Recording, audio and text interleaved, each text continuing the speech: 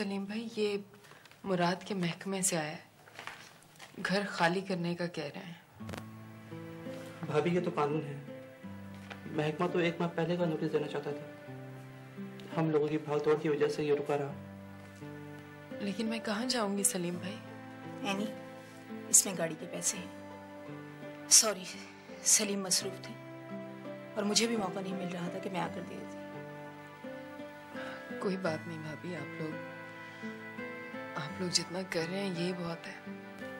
चलिए सलीम जी भाभी वो मेरी मेरी बहन की तबीयत ठीक नहीं है तो हमें वहाँ जाना था। ठीक है सलीम भाई। अल्लाह हाफिज़।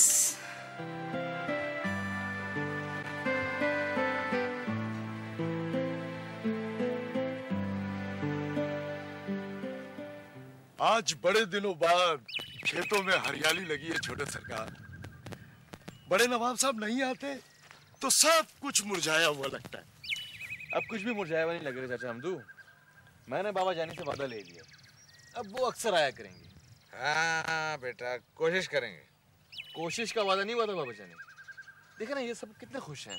जी सरकार हमारी रौनकें तो आपके दम से हैं जी।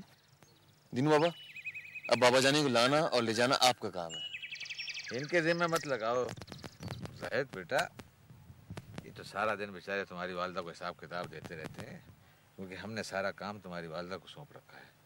ये दीनू तो बस मदद करता रहता है। चलें बाबा जानी। हम तो ले आएँगे आपको। छोटे सरकार बड़े सरकार पे तो हमारी जान भी कुर्बान है। आप हुक्म तो करें। हमदू तुम्हारी बेटी का क्या हाल है? बहुत खुश है सरकार। अब तो माशाल्लाह से उसके तीन बच्चे हैं। आपको दुआएँ देती रहती है।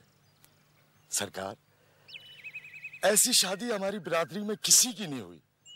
अब तो उसके ससुराल वाले भी उल्टी सीधी बात करते हुए उससे डरते हैं। क्योंकि बड़े नवाब साहब आपने उसे बेटी बना के जो रुखसत किया था।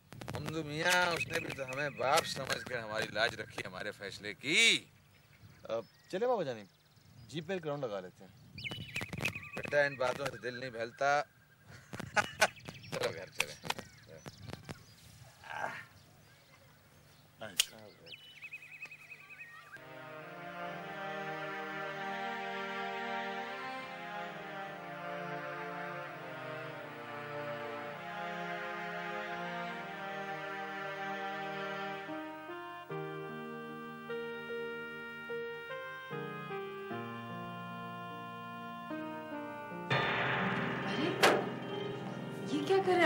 लाइए मैं मैं करके देती तुम करोगी? हाँ। तुम ये काम नहीं कर सकती। वो तुम्हें करना भी नहीं चाहिए। सारा दिन घर में पता नहीं क्या कुछ करती रहती हो। और मैं जानता हूँ कि तुमने ये सब कुछ कभी नहीं किया। तुम्हारे तो आगे और पीछे नौकर हुआ करते थे। मुराद साहब ये मेरा घर है। और मुझे भी ये सब करके बहुत खुशी होती है। तो मोहतरमा आप मुझे इस खुशी से महरूम क्यों कर रही हैं? ये मेरा भी घर है। पता है नहीं, मुझे इस घर से बहुत प्यार हो गया है। हालाँकि मैं जानता हूँ ये मेरी जाति मिल्कियत नहीं है, लेकिन है तो हमारा अपना ना। अब मेरी सारी खुशियाँ इसी घर से वाबस्ता हैं शायद इंसान का सबसे खूबसूरत तस्वुर अच्छा घर होता है। मुराद कभी कभी मैं सोचती थी कि वो हवेली, बकौल आपके, वो महल नुमा हवेली। तस्वुर मुझे सुकून क्यों नहीं देता? क्यों अजनबियत सी महसूस होती है मुझे? और फिर मुझे पता चला कि सुकून चार दीवारी में नहीं बल्कि उसके अंदर के माहौल से मिलता है। हम्म लेकिन जनाब हमें तो इस चार दीवारी से भी प्यार हो गया है। इसलिए कि इसी ने तो हमारी खुशियों को संभाल कर रखा हुआ है। तुमने मुझे क्या बातों में लगा दिया? अच्छा खासा मैं काम कर रहा था। अमा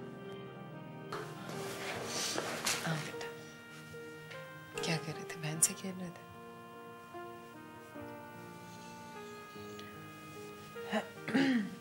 उनीब बेटा मुझे आपसे बात करनी है।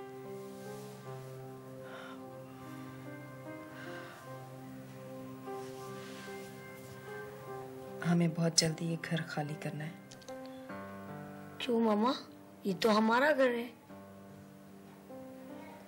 हाँ बेटा वो पापा जहाँ काम करते थे ना उन्होंने ये घर हमें दिया हुआ था।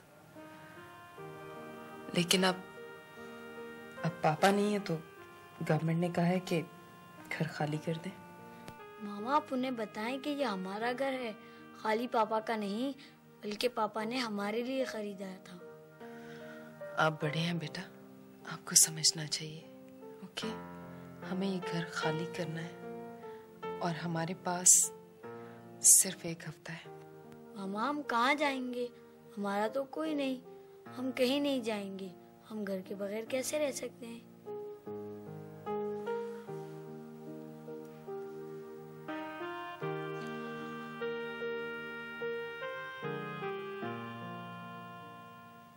अम्मा जाने आप आप शरा से मिलेंगे ना तो बहुत खुश होंगी। चंदा बात मेरे खुश होने की नहीं है, बात तुम्हारे बाबा जानी की है, तुम उन्हें जानते ही। बेटी के मामले में बेटी थी अम्मा जानी। अपनी बेटी का दूसरे घर जाना और दूसरे की बेटी का अपने घर आना, दो मुख्तलिफ़ चीज़ें हैं। अम्मा जानी, मैं मैं शाला को पसंद करता हूँ। मुझे अच्छी लगती है। बस मैं कुछ नहीं जानता, बाबा जानी से बात करूँ। मैं फ़ोन पे मालूम कर लूँगा आपसे। और अम्मा जानी, जब तक फैसला मेरे हक में नहीं होता, मैं बाबा जानी का सामना नहीं करूँगा। बेटा अभी इन बातों का वक्त नहीं है। जब वक्त आएगा बात कर लूँगी मैं। तुम फ़िलहाल पढ़ाई की तरफ़ तवज्जो दो। उसकी फ़िक्र मत करें अम्मा जानी। बेटा चंदन जाके अपने बाबा जानी को समझाओ तो सही। तुम्हारे जाने के बाद ना कमरा बंद करके बैठ जाते हैं। अम्मा जानी आप ज़बरदस्ती ना करें ना। वो काम की देखभाल नहीं कर सकते। भाई काम की देखभाल करने की उन्हें कोई ज़रूरत नहीं है। मैं करती हूँ सारा काम। लेकिन कम से कम खुली हवा में सांस तो लें। चलो ठीक है अम्मा जानी। मुझे चाय बना दीजिए बदतमीज कहीं जब भी कोई चाय पीता रहता है, जब भी तो तुझे नींद नहीं आती है।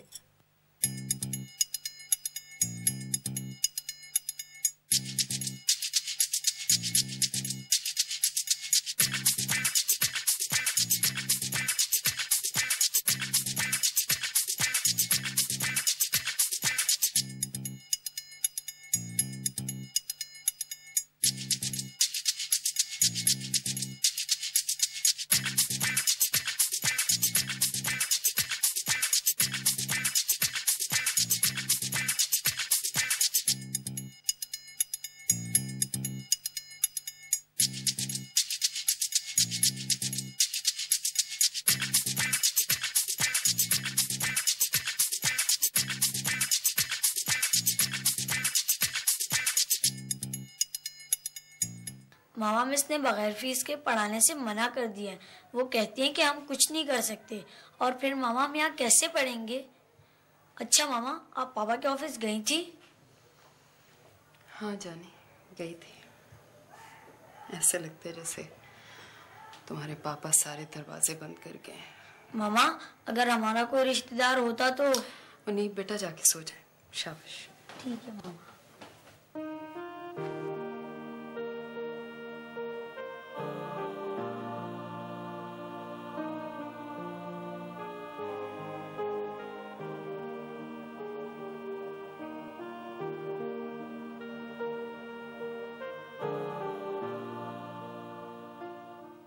मामा हम कहाँ जाएँगे? कहाँ जाएँगे? हमारा तो कोई हमारा तो कोई नहीं। हम कहीं नहीं जाएँगे। कहीं नहीं जाएँगे घर के बगैर कैसे रह सकते। कैसे रह सकते हैं? इन इन बच्चों का क्या कसूर है? हाँ।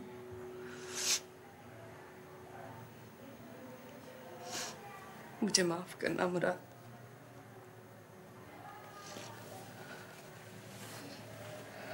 मैं बहुत मजबूर होकर ये फैसला कर रही हूँ। तुम थे तो मैं जीत गई थी। तुम नहीं हो तो मैं हार गई।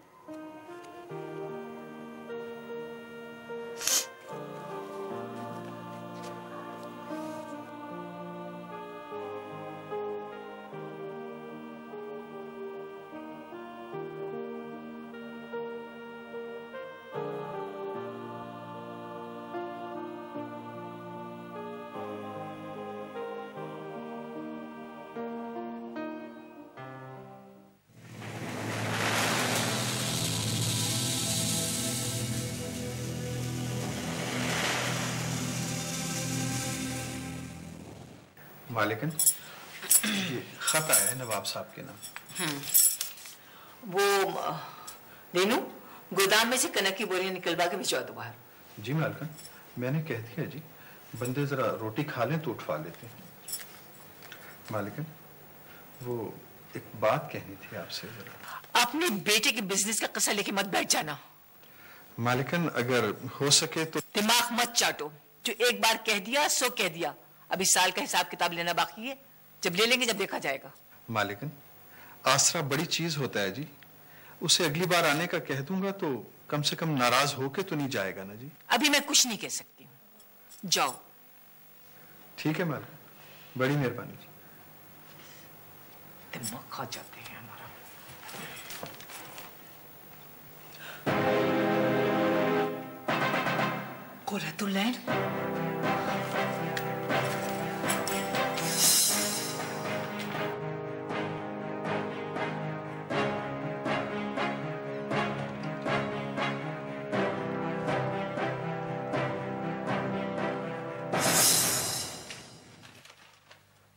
अस्सलाम वालेकुम बाबा जानी।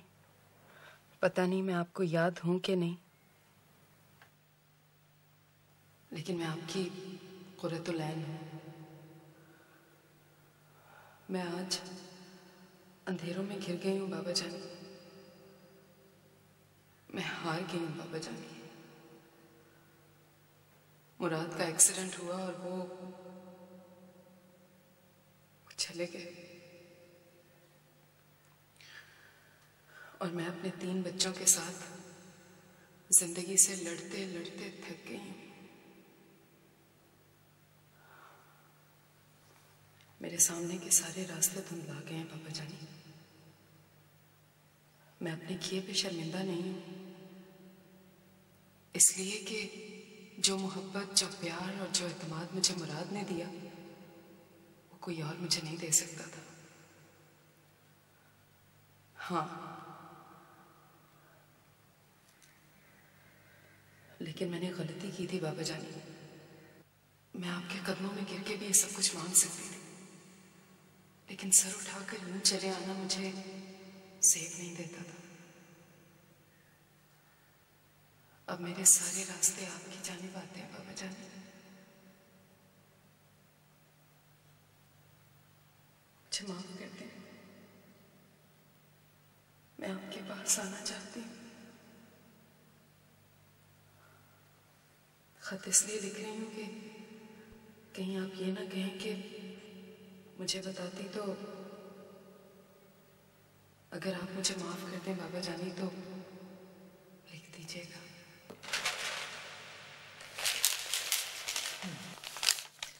चौदह तबक रोशन हो गए तो बाप से माफ़ी मांग रही है। न मुराद का इंतकाल होता, न ये हमें पूछती। लेकिन बच्चू मैं तुम्हें यहाँ कदम रखने ही नहीं दूँगी। तुम समझती क्या हो?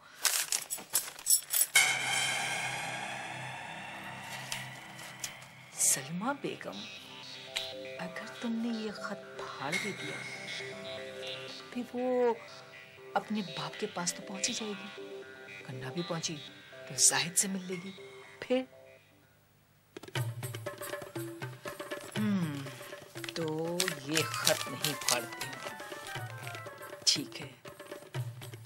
लेकिन हैनी साहबा आप यहाँ कदम तो रख लेंगी लेकिन फिर मैं आपको बताऊँगी कि क्या होगा। हमदू देख के आओ कि दीनू चला गया ये है? दीनू तो चला गया। उसका बेटा शहर जा रहा है ना तो उसे छोड़ने स्टेशन गया। ठीक है उसके घर में जाके कह के आओ जैसे दीनू है उसको मेरे पास भेज दे। बड़ी मालकन अब वो रात को ही आएगा क्योंकि उसके साले की तबीयत खराब है तो उसे देख कर आए। ठीक है उसकी बीवी से कहो जब भी वो रात को आए फ़ौरन मेरे पास आए। ठीक है भाई।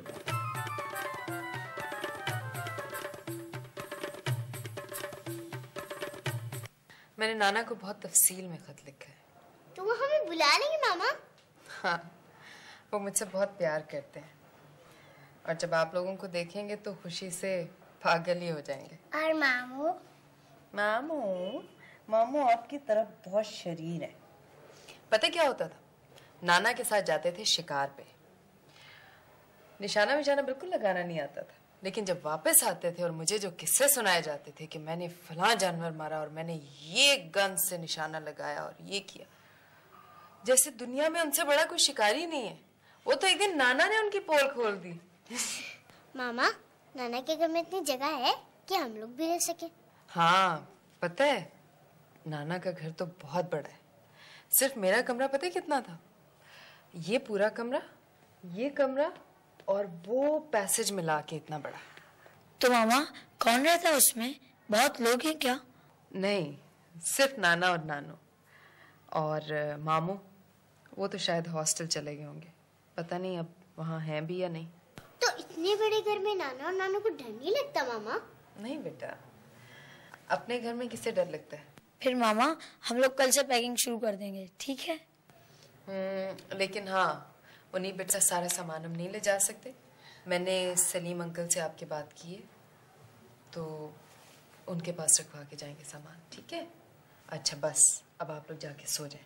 मामा नाना हमें वहाँ स्कूल में एडमिशन दिला देंगे ना? हाँ बेटा क्यों नहीं? पढ़ाई तो बहुत ज़रूरी है ना।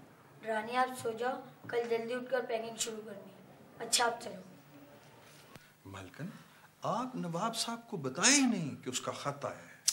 नहीं बताने से क्या होगा? अगर वो खुद यहाँ आ गई या जाहिद के पास पहुँच गई तो? ना ना ना ना डरने वाली कोई बात नहीं है। नवाब साहब तो उसे पहले ही आग कर चुके हैं। हाँ वैसे वो आपके लिए है खतरा। मेरा सुकून खारत हो जाएगा। मालकन आपके चाहने से क्या होता है? आप उसे यहाँ आने से रोक नहीं सकते। और फिर अगर वो यहाँ आ गई और उसने नवाब साहब को बता दिया कि वो खत भेज चुकी है तो फिर आपकी पोजीशन जरा धीनू मैंने तुम्हें बुलाया इसलिए है कि तुम्हारा दिमाग बहुत तेज चलता है। कोई ऐसी तरकीब करो कि सांप भी मर जाए और लाठी भी ना टूटे। एक तरकीब है ऐसी। अगर आप उस पर अमल करें तो जल्दी बताओ।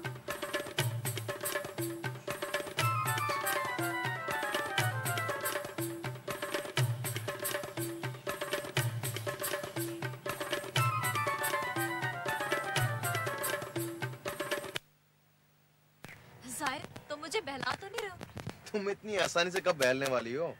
वैसे ऐसे मैंने अपनी अम्मा जानी से बात कर ली है और वो तैयार भी हो गई हैं। बस अब बाबा जानी से बात करना रह गया है। और वही सबसे खतरनाक मरहला है। नहीं अब वो मरहला इतना खतरनाक नहीं रहा है। क्योंकि अम्मा जानी को बताने के बाद आधी खतरनाकी तो खत्म हो गई है। बस बाकी आधी रहती है। अच्छा ये बताओ कि मैं अम्मी और अब्बू से क्या कहूँ? मेरा ख्याल है फ़िलहाल कुछ ना कहो। जब तक अम्मा जानी और बाबा जानी की तरफ़ से ग्रीन सिग्नल नहीं मिल जाता ना तब तक तो कोई बात फाइनल नहीं की जा सकती। अगर कोई गड़बड़ हो गई तो तुम्हारे लिए मसला हो जाएगा। पापा जाने की तबीयत कैसी है? बहुत बेहतर थी इस मरतबा। बल्कि इस मरतबा तो उनके चेहरे पे वो गम भी नहीं था जो उनकी शख्सियत का हिस्सा बन के रह गया था। चलो शुक्र है। लेकिन शराब पता नहीं क्यों आजकल मुझे बहुत बेचैनी सी हो रही है। मुझे आप ही का ख्याल पहले कभी इतना नहीं आया जितना आजकल आ रहा है। पता नहीं क्यों। शायद इसकी वजह यह हो कि वो इन्हीं दिनों में गई थी। नहीं शाला ये बात नहीं है। ये दिन तो गुज़िश्ता बरसों में भी आए थे। पता नहीं क्यों। अच्छा चलो हम लंच करते हैं किसी अच्छी सी जगह पे जाके। नहीं मेरा वक्त दिल नहीं चाह रहा मैं हॉस्टल जाऊँगा। प्लीज़ जाहिद वहाँ जाके तुम बेड पे लेट जाओगे और डिप्रेस रहोगे। चलो ना लंच करते हैं उसके बाद फिर लंबी ड्राइव पे चलेंगे। चलो ना। चलो। आराम से आप खतरनाक पत्थर है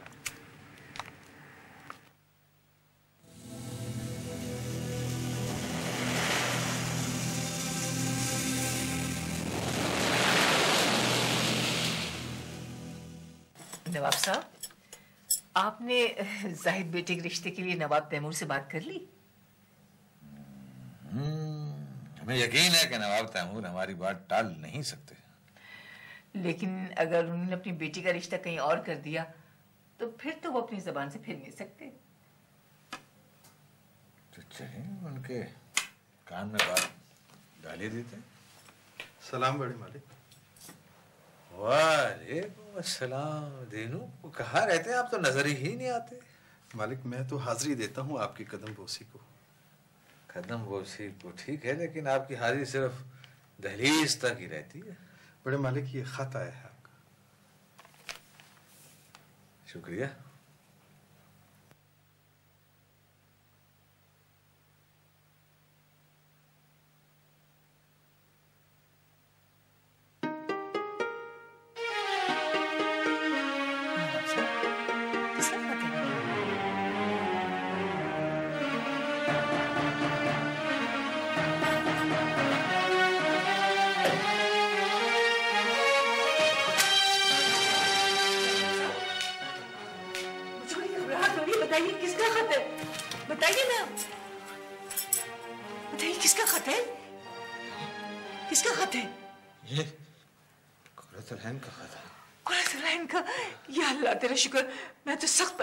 रही थी पता नहीं इसके साथ क्या हो गया हुआ साहब पढ़िए।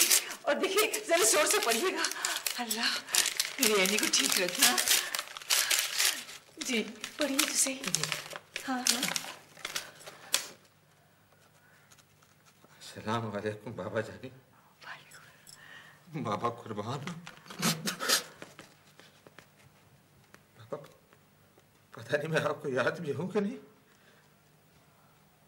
आपके करीब हूँ, लेकिन भी आपसे दूर हूँ। बाबा जानी, जो आदत खुद अंधेरों में डूब गई है, नहीं तो कैसे डूबेगी? मैं मैं बहुत अकेली हूँ, बाबा जानी। मुराद और बच्चों का कार में एक्सीडेंट और उनके इंतकाल हो गया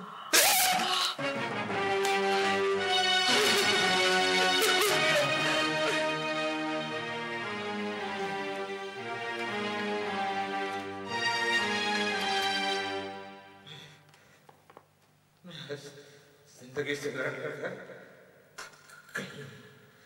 Ама тань мэдээ зэндрээс хоорт байгаа. Аа. Гэрэл яг л гэж тань. Чомбата цог гисгий байдаг. Тусэдэ зэндрээс тань нэг тагэй. Тэр нэг байна.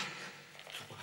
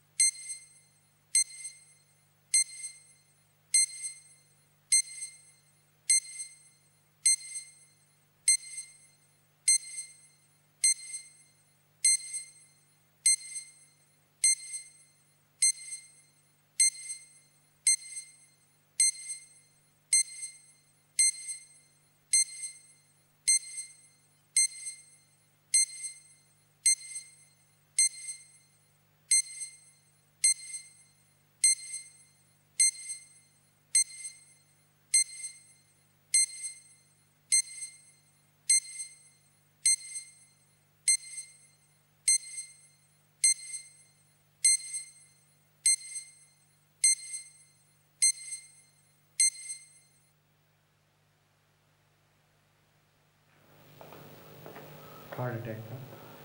ज़ाहिर है सदमे ही ऐसा था। अल्लाह ने उनकी जान बचा ली बेगम साहब लेकिन फारिज की वजह से नवाब साहब माजूर होकर रह डॉक्टर साहब वो ठीक तो हो जाएँगे ना? इंशाल्लाह लेकिन बहुत एहतियात की ज़रूरत है जी ज़रूर। अभी उनका यहाँ रहना बेहतर है जी थैंक यू डॉक्टर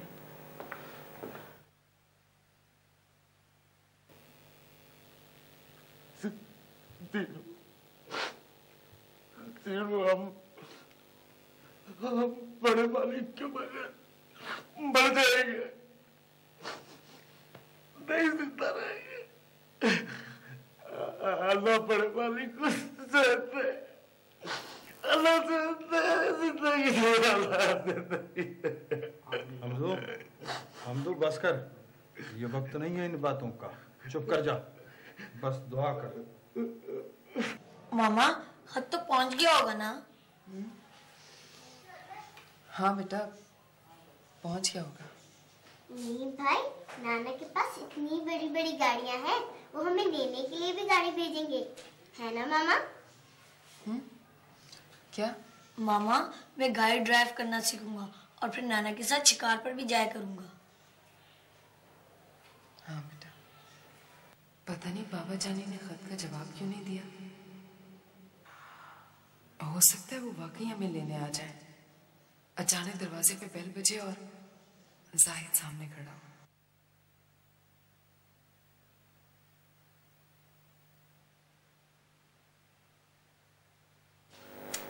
दीनू जी मालकन देखो इसको फ़ौरन पोस्ट कर दो। और तुम जाओ हवेली और सबसे कह देना कि ये खबर जाहिद तक नहीं पहुँच जाएगी वरना मैं सबको निकाल के बाहर कर दूँगी। कौन सी खबर? बीबी वाली? नहीं नवाब साहब की बीमारी की इतला जाहिद को नहीं होनी चाहिए। ठीक है मालकन। मालकन आपको हवेली चले जाना चाहिए। नहीं कल मैं नवाब साहब को लेकर खुद पहुंचूँगा। और ये हमदू है ना? हम तो यही हैं। वो इधर ही रहेगा। ठीक है उसको फ़ौरन यहाँ भेजो। और तुम ये खत फ़ौरन पोस्ट करो। जाओ। आप फ़िक्र नहीं करें। बिल्कुल फ़िक्र नहीं जाओ जल्दी।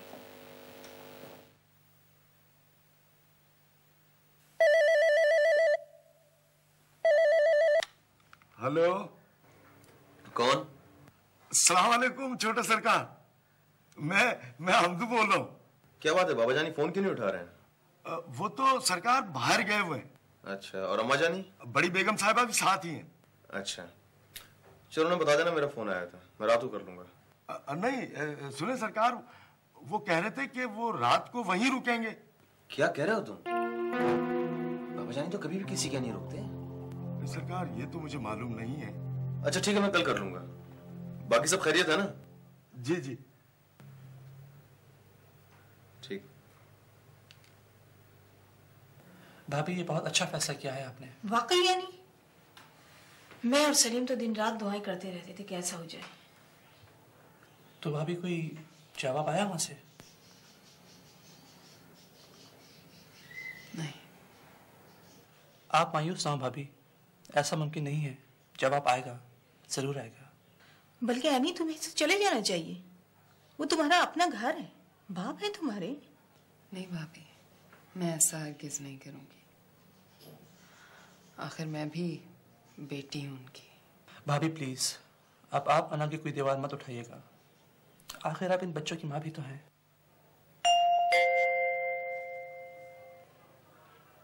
रानिया?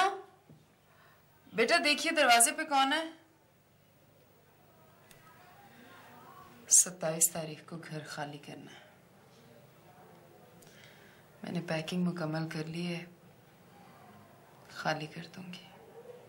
मामा खत आया है। ठीक है बेटा आप जाएँ।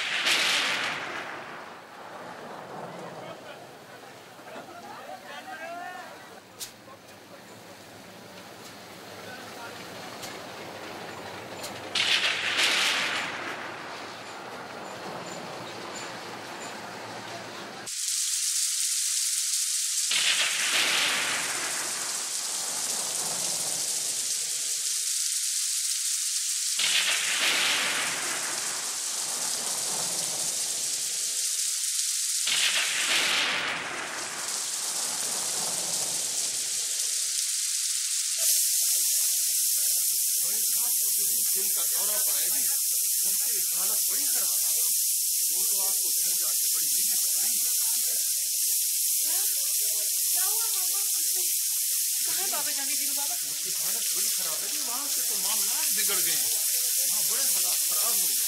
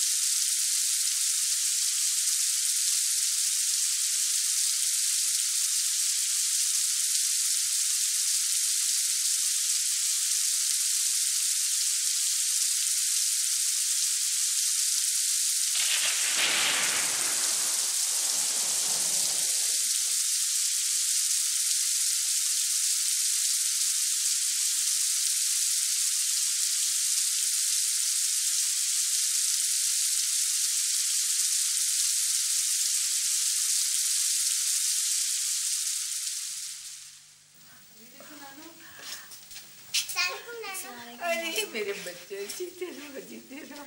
अम्मा जानी कैसी हो? नानो नाना कहाँ है? हमें उनसे मिलना है। नानू आपको पता है मैंने नाना जी के स्केच बनाए हैं। और अब मैं देखूँगी कि वो स्केच नाना जी से मिलते हैं या नहीं। ठीक है नानू?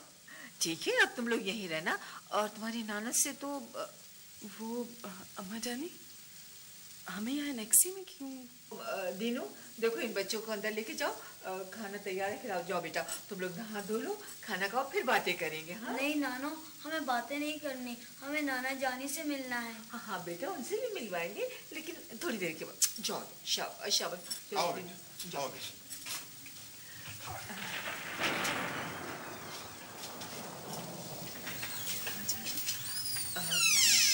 देखो एनी तुम मुझे अब तक अपनी सुतेली माँ समझती रही हो ना? अभी भी यही समझती हो, लेकिन जानती हो? तुम्हारे जाने के बाद मैंने तुम्हारे बाबा जाने को किस तरह संभाला है? वो तो उस वक्त मुराद को कत्ल कराने की सोच। मैंने उन्हें रोका, अपने वास्ते दिए, खुदकुशी करने की धमकियाँ दी। और पता है, अब तक मैं उनके दिल से मुराद की नफरत निकालने की कोशिश कर रही हूँ। एनी वो तो तुम्हें बहुत चाहते हैं, बहुत प्यार करते हैं। पहले भी करते थे और अभी भी करते रहेंगे। लेकिन अम्मा जानी आई लव यू अम्मा जानी। आपने मेरी खातिर ये सब कुछ किया। लेकिन मैं बच्चों के बगैर नहीं रह सकती, अम्मा जानी। वो मुराद की औलाद को कबूल नहीं करेंगे। इसलिए मैंने ना उनको तुम्हारे बच्चों के बारे में नहीं बताया।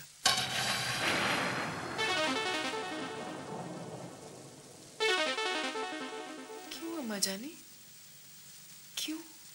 ऐसा क्यों किया आपने? इसलिए कि वो मुराद से बेपना नफरत करते हैं। और उसकी औलाद का सुनकर एनी वो तुम्हें यहाँ आने से रोक देते। इसलिए मुझे ना झूठ बोलना पड़ा। और ये झूठ इसलिए ज़रूरी था कि उनकी जान को खतरा हो जाता। अब तुम्हें भी यही झूठ बोलना पड़ेगा। कैसा झूठ? यही कि तुम अकेली हो और अगर तुमने ये झूठ नहीं बोला तो तुम्हारे बाबा जाने को कुछ हो सकता है। कुछ दिनों की बात है नहीं? तुम्हारे बाबा जाने तुम्हें देखकर बड़े खुश होंगे। जब उनकी तबीयत संभल जाएगी ना तो आहिस्ता आहिस्ता उन्हें सब कुछ बता देंगे। बच्चे यहाँ एनेक्सी में रहेंगे। और किसको पता भी नहीं चलेगा। दिन उनका ख्याल रखेगा। एनी देखो, अगर तुम्हें ये मंजूर है तो ठीक है, वरना वरना तुम यहाँ से जा सकती हो। मैं नवाब साहब की जान खतरे में नहीं डाल सकती। लेकिन अम्मा जानी, ये तो सोचे मैं मैं इन तीनों को लेके कहाँ जाऊँगी? तो फिर हालात से समझौता करो। और मेरा ख्याल है तुम्हें समझौता करने की आदत है। आचे जाओ बेटा, जाओ। बच्चों को समझाओ कि उन्हें अब यहीं रहना है। फ़िक्र करने की कोई ज़रूरत नहीं और जल्दी से वापस आओ। तुम्हारे पापा जाने के पास चलते हैं। उनकी तबीयत ठीक नहीं है। जाओ।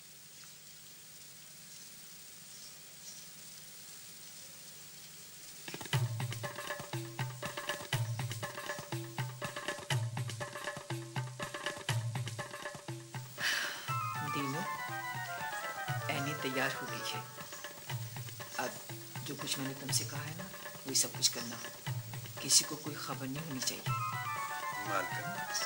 किसी को कानो कान खबर नहीं होगी।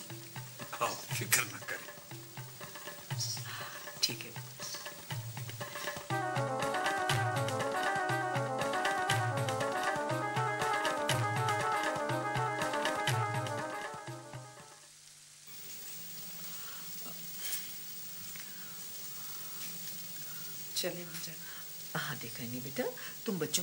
बिल्कुल फ़िक्र नहीं करना। तुम उनसे मिलने के लिए आ सकती हो लेकिन इस तरह के किसी को पता ना चले। लेकिन अम्मा जाने कैसे रहेंगे बच्चे अकेले? नहीं नहीं बेटा दीनू है उनके पास। फ़िक्र करने की कोई ज़रूरत नहीं है। ठीक है अम्मा जानी। मैं बाबा जाने से मिलके वापस आ जाऊँगी। हाँ हाँ अगर हालात ठीक हुए तो ज़रूर आ जाना। अम्मा जानी? जाहिद कैसा है? ठीक है, लेकिन तो कोई नहीं। अभी जरा बच्चों के सिलसिले में उससे भी मोहतात रहना। जाहिद क्यों है जानी? भाई देखो ना, उसकी रगों में भी नवाब साहब का खून दौड़ रहा है। वो मराद से नवाब साहब से ज़्यादा नफरत करता है। हाँ अच्छा चलो चलो शाबाश।